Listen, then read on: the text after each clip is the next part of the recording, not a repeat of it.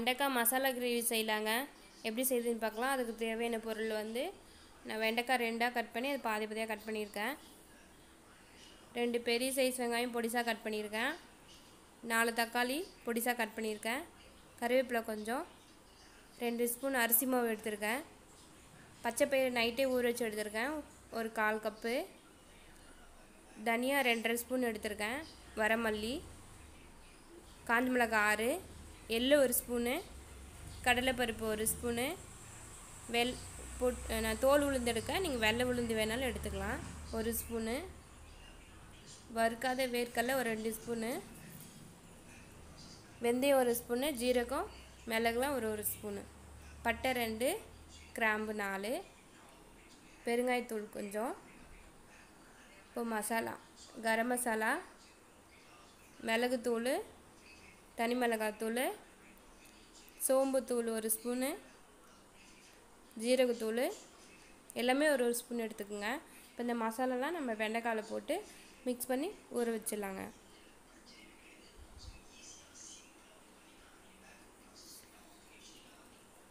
First நான் தனி மிளகாத்தூள் போட்டுக்கிறேன்.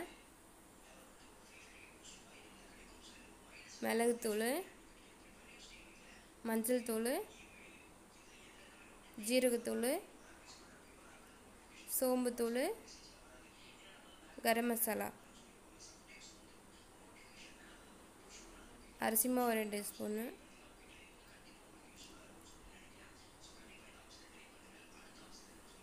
தயிர் சின்ன ஒரு குளிக்கரண்டி அரண்டி அளவுக்கு.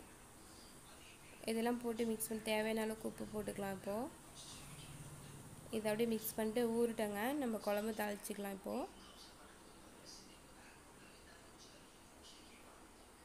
இந்த அளவுக்கு புளி எடுத்திருக்கேன். உங்களுக்கு புளிப்பு எவ்வளோ தேவையோ நீங்கள் எடுத்துக்கலாம்.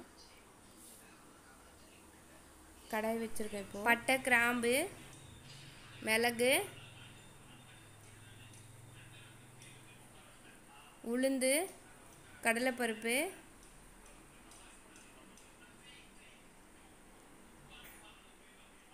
வரமல்லி எள்ளு கருப்பு எள்ளு ஜீரகம் வெந்தயம் வேர்க்கடலை.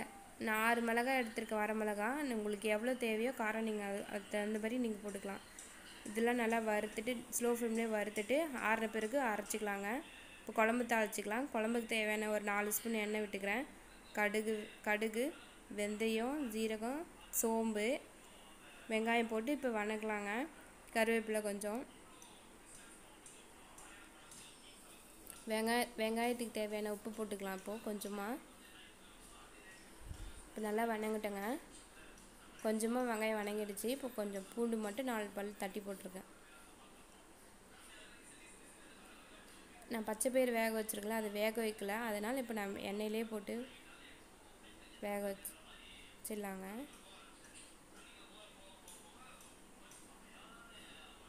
தக்காளி போட்டுக்கலாம். வெங்காயம் நல்லா வணங்கிடுச்சு ஒரு பத்து நிமிஷம். தக்காளி தேவையான உப்பு மஞ்சள்தூள் ஒரு கால் ஸ்பூனு. இது நல்லா வேக தக்காளி நல்லா எண்ணெயிலே வணக்கலாம்.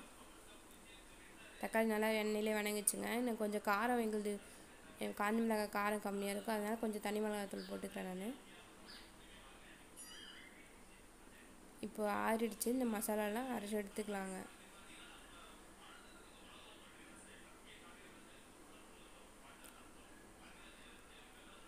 இது இப்போ வந்து இந்த மசாலா வந்து இதில் போட்டுடலாம். போட்டுட்டு எண்ணெயிலே கொஞ்சம் ஒரு ரெண்டு நிமிஷம் எண்ணெயிலே பெரட்டி எடுத்துடலாம். எண்ணெயிலே பெரட்டியாச்சுங்க ஒரு சொம்பு தண்ணி ஊற்றி கொதிக்க வச்சலாம் ஒரு தே குழம்புக்கு தேவையான உப்பு. இது நல்லா கொதிக்கிட்டேங்க. ஒரு அஞ்சு நிமிஷம். இப்போ புளி ஊற்றிடலாம் இந்த குழம்பு கொதிக்கிட்டேங்க. ஒரு பத்து நிமிஷம் கொதிக்கிட்டோம். நம்ம வந்து இந்த மசாலா வந்து ஊற வச்சுருக்கோம் இல்லையா? வெண்டைக்காயெல்லாம் போட்டு அதை எண்ணெயில் ஃப்ரை பண்ணி எடுத்துக்கலாம் ஒரு மூணு ஸ்பூன் எண்ணெய் போட்டுக்கிறேன். பெருங்காயத்தூள் கொஞ்சம் போட்டுக்கிறேன் நான். குழம்பு முன்ன தாளிக்குள்ளே இருந்தாலும் இப்போ போட்டுக்கிறேன். ஜீரகம் உளுந்து கருவேப்பிலை காஞ்ச மிளகாய். இப்போ இந்த வெண்டைக்காவை பெரட்டி வச்சுருக்கோம் இல்லையா அதில் போட்டுக்கலாம் இப்போது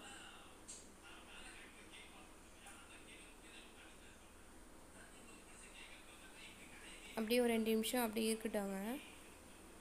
ரெண்டு ரெண்டு நிமிஷம் வணக்கிட்டு மூடி மூடி போட்டு அப்படியே ஸ்லோ ஃப்ளேம்லேயே வேக வைக்கலாம். ஒரு அஞ்சு நிமிஷம். இப்போ அஞ்சு நிமிஷம் பொறுத்து எடுத்தாச்சு. அப்படியே கலரி விட்டுக்கிட்டே இருக்கலாம். ரெண்டு நிமிஷம் கலரியாச்சுங்க இப்போ அவ்வளோதான் ரெடி ஆகிடுச்சு இப்போ நம்ம குழம்புல சேர்த்துடலாம் இதை.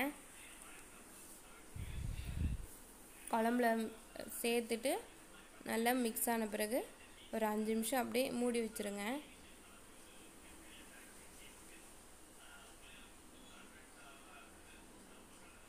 அவ்வளோதாங்க நம்மளுக்கு குழம்பு ரெடி ஆகிடுச்சு இப்போ கருவேப்பிலை போட்டுக்கலாம்.